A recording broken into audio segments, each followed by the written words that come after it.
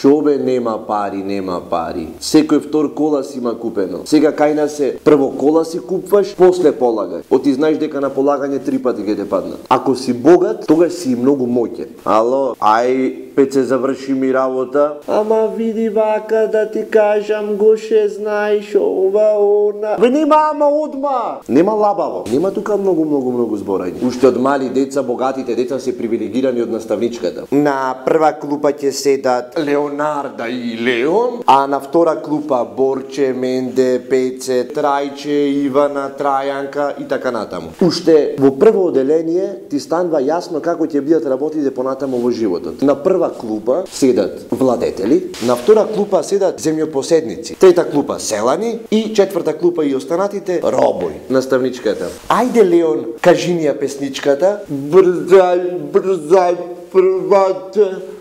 конскалскиот двор.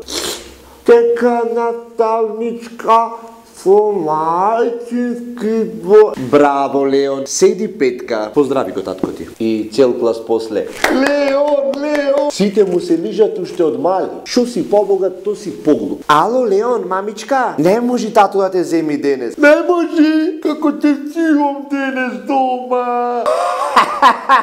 Обично богатите дечиња си имат и песнички на фестивали. Тато, сакам песничка, сакам да бидам пејач како Джастин Пибер. Титни ми на мобилен, ако кредит немаш ти, титни од кај татко ти. А останатите деца се сите во позадина.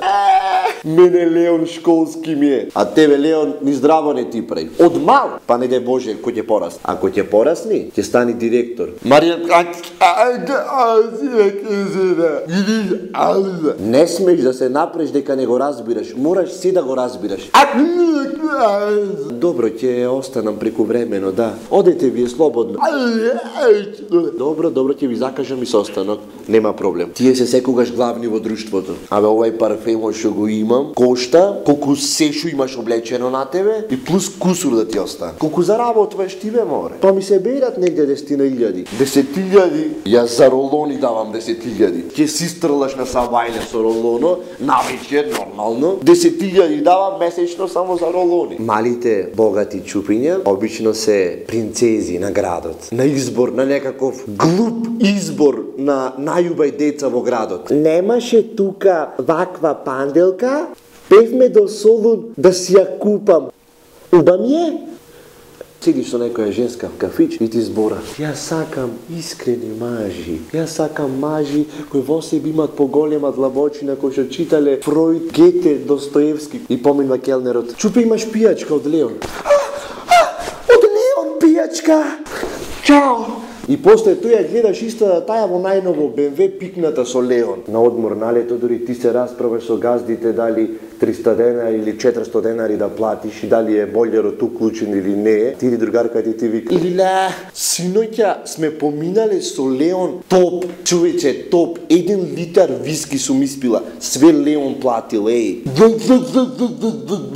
На прв поглед го гледаш тој дебел, гнасен, едвај се движи, потони му шикат од овде, со крпа се бриши цело време. Покрај него манекенка, преака. Си викаш, како може бе братове да се во врска? И женската ти вика, тој за мене е мече, плишано мече, многу го сакам. А да беше таксист ќе го сакаше? Да беше електричар ќе го сакаше? Наброд да работеше ќе го сакаше? Најголемиот број на богаташи многу глупо се облекват. Јас пер се трудам ми е се нај-нај, сваѓаш? Сакам да ми е топ. Сигурно в кола му се слуша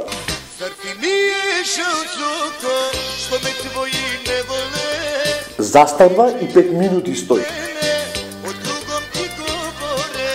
Кој ќе помине некоја јака женска, одма менва. Што музика слушаш? Знаеш бе брат, одам јас на джез фестивал, одам класична музика. Што слушаш од класична? Джековски бе брат, Кирил Джековски. Има луѓе што се прат богати, ама не се. Кафич некоја женска и оди на другарка им. А не, дај 50 денари за пивото. Си ги остев дома на маса. Богатите луѓе не чекат болница. Одат, тука редици има сите чекат, некоја жена малаксана. А тој, Зоре, ела да ми земиш мокрача. Го ќе му земе мокрача, бе.